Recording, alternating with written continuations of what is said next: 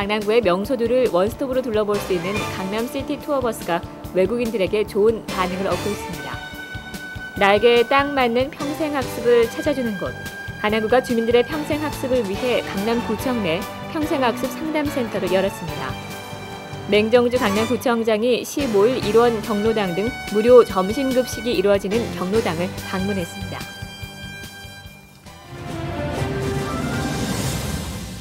시청자 여러분 안녕하십니까? 강남구청 뉴스입니다. 한낮에 더위를 잊게 해주는 도심 속 쉼터, 바로 강남구 안에 있습니다. 강남구가 15일 양재천 물놀이장을 개장했습니다. 양재천 물놀이장은 구민들이 손쉽게 찾을 수 있는 양재천 영동 2교에서 5교 방향 좌우에 각 한 개씩 위치하고 있으며 120m 길이에 200명을 수용할 수 있도록 조성됐습니다. 강남구는 좌측 물놀이장에는 수돗물을, 우측 물놀이장에는 철저한 수질 검사를 마친 지하 용출수를 이용하고 최적의 수질을 유지하기 위해 매시간 물을 교체해 주민들이 안심하고 물놀이를 즐길 수 있도록 할 방침입니다. 양재천 물놀이장은 누구나 무료로 이용할 수 있으며 이용 시간 제한은 없고 9월 말까지 운영됩니다. 네, 양재천 이외에도 강남구엔 많은 볼거리와 즐길거리가 있는데요. 한 번 타면 관광도시 강남구의 숨은 매력을 원스톱으로 구석구석 맛볼 수 있는 투어버스가 있다고 합니다. 강남 시티 투어버스 들어보셨나요? 우병욱 기자가 취재했습니다. 강남구는 한국을 방문한 외국인들에게 강남만의 독특한 문화를 알리기 위해 작년 9월부터 45인승 전용 버스를 이용해 강남 시티 투어 버스를 운행하고 있습니다. 16일에는 한국에 주재하고 있는 각국의 외신 기자단이 강남 시티 투어를 직접 체험했습니다. 강남시티 투어 코스의 하나인 강남구청, 외신 기자단과 외국인 관광객들은 강남구청 복도안 미술관에 전시되어 있는 미술 작품들을 감상하고 강남구청 옥상 녹화공원을 산책하며 즐거운 시간을 보냈습니다. 다음 관광지는 한국을 대표하는 태권도의 심장인 국기원. 관광객들은 절제된 동작의 태권도 품새를 보며 엄숙한 분위기 속에서 대화를 나누는 등 태권도에 대한 높은 관심을 보였습니다. 이어 펼쳐진 격파 시범에서 관광객들은 화려한 발차기에 놀라워하며 사진 찍기에 열중했습니다. 태권도를 지켜보는 외국인의 표정에서 한국 태권도의 힘을 느낄 수 있습니다.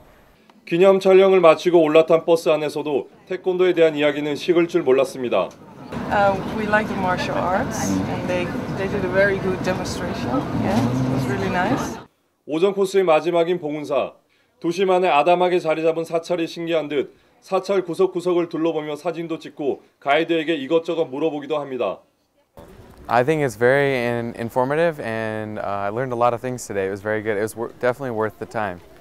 강남구는 시티 투어 활성을 위해 기존에 주 1회 실시하던 시티 투어 버스 운행을 주 2회로 늘렸습니다. 구 관계자는 앞으로 강남구가 더 많은 외국인 관광객들을 유치하기 위해 부가가치가 높은 의료 관광 상품 개발도 추진 중이라고 밝혔습니다. 강남을 찾은 외국인들에게 한국 문화를 더욱 자세히 알리는 강남 투어 버스. 앞으로 더 많은 외국인들의 이용을 희망합니다. 강남구청 뉴스 우병욱입니다. 교육은 어린 시절 학교에서만 이루어지는 게 아니죠. 오히려 성인이 된 후 교육의 필요성을 더 느끼시는 분들이 많은데요. 강남구가 지역 주민들의 평생 교육 디자인을 위해 평생학습 상담센터를 오픈했습니다. 이 상담센터엔 평생 교육사가 상주하면서 1대1 맞춤형으로 평생학습 상담을 제공합니다. 구미의 기자입니다. 가남구청 본관 1층 전문가 상담센터 내 평생학습 상담센터가 자리했습니다. 평생학습 상담센터는 강남 구민들이 원할 때 언제 어디서나 교육을 받을 수 있도록 정보를 제공하는 곳. 평생 교육사가 상주해 원하는 교육 내용과 연령대에 적합한 강남구의 평생 교육 강좌를 추천합니다. 네, 현대 사회는 평생 학습이 꼭 필요한 사회가 되었습니다. 어, 그런데 많은 성인분들이 어, 필요로 하는 교육을 어디서 이루어지는지 잘 모르기 때문에 많은 기회를 놓치고 계십니다. 그래서 저희 강남 평생학습센터에 오시면 제가 어, 여러분들이 필요로 하시는 교육 프로그램을 안내해 드리고 또 어디서 가장 어, 가까운 곳에서 교육 프로그램이 이루어지는지를 안내해 드릴 테니까요. 많이 오셔가지고 상담을 받으셨으면 좋겠습니다. 평생교육사는 지역 내 문화센터를 포함해 복지관, 여성능력개발센터 등 총 33곳에 이르는 기관에 강좌 정보를 깨뜨리고 있습니다.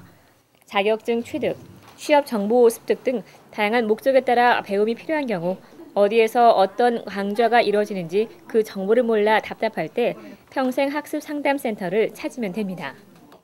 단안구에서 제공하는 평생교육은 전문 자격증 취득 과정에서 취미 여가, 정보화 교실 등에 이르기까지 다양합니다.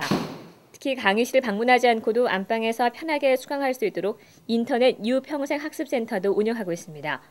검색창에 강남구 유평생학습센터를 치면 화면으로 이동하고 회원 가입을 하면 200여 개 사이버 강좌를 무료로 수강할 수 있습니다. 언제 어디서나 원하는 교육을 받을 수 있는 강남구 평생학습 프로그램이 배움의 즐거움과 함께 역량 있는 강남 구민을 만들어가고 있습니다. 강남구청 뉴스 구미입니다. 맹정주 강남구청장이 15일 일원 경로당 등 무료 점심급식이 이루어지는 경로당을 방문했습니다. 15일 맹정주 강남구청장은 노인복지 관계자들과 함께 수서 7단지 아파트 경로당과 일원 경로당을 찾았습니다.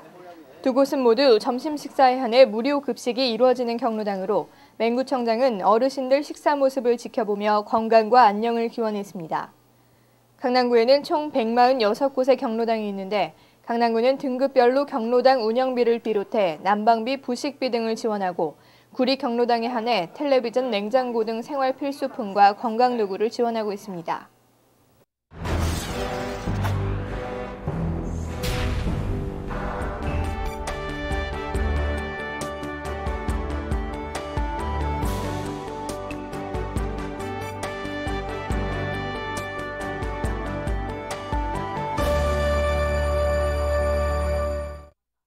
사단법인 사랑 담는 사람들이 KBS 개그 콘서트 출신 개그맨 이승환 씨와 함께 13일 강남의 한 음식점에서 효행사를 열었습니다.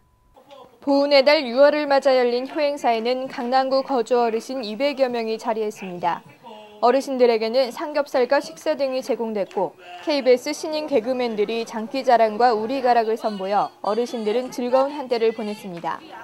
맹정주 강남구청장도 어르신 효행사에 참석해 어르신들의 건강과 안녕을 기원했습니다.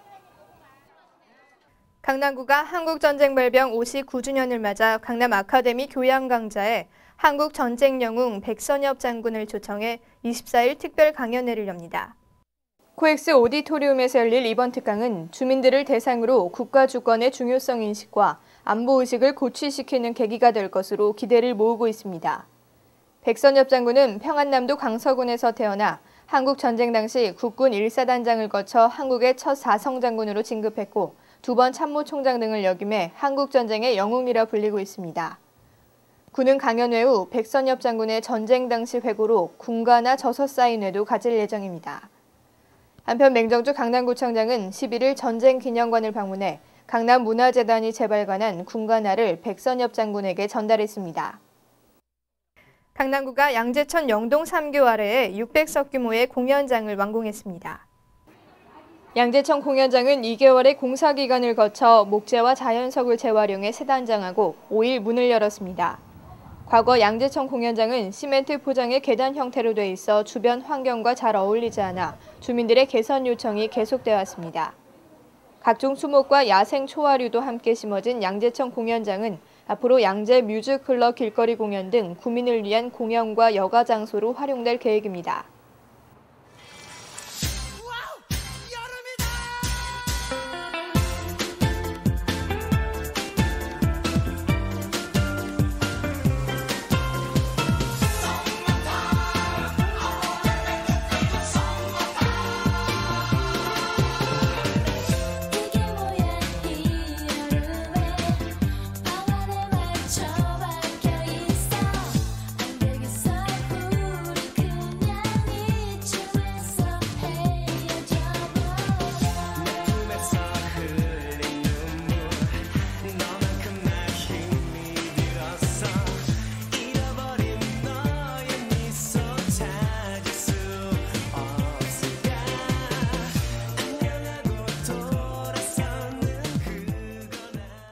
이상으로 뉴스를 마칩니다. 시청해주신 여러분 고맙습니다.